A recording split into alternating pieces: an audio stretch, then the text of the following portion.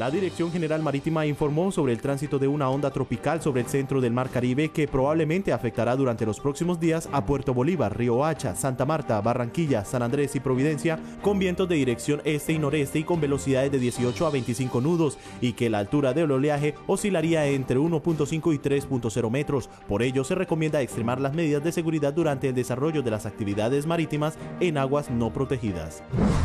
en conmemoración al Día Internacional de la No Violencia contra la Mujer desde la submesa del Comité Intersectorial Consultivo para San Andrés para la Prevención de la Violencia de Género, comité al que pertenece la Oficina de la Mujer, la Secretaría de Salud, entre otras instituciones como Kane Roots Association, reunieron a más de 40 mujeres del archipiélago para una jornada pedagógica y académica donde se trató todo lo relacionado con la historia y antecedentes del Día Internacional de la No Violencia contra la Mujer y la ruta de atención contra la violencia de género.